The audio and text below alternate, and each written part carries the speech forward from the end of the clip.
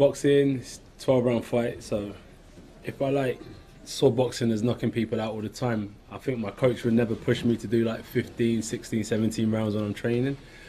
So I do understand it's a 12 round fight.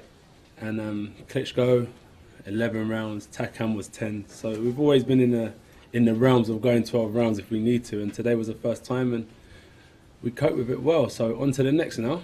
It's difficult when, when someone comes and uh, and's backing off a lot of the time and so on and so forth. But so be it, you know, history was made. Um, Joseph played a massive part in this, his whole camp did.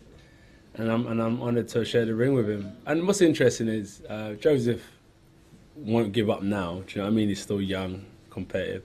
And I think we'll definitely see Joseph Parker again.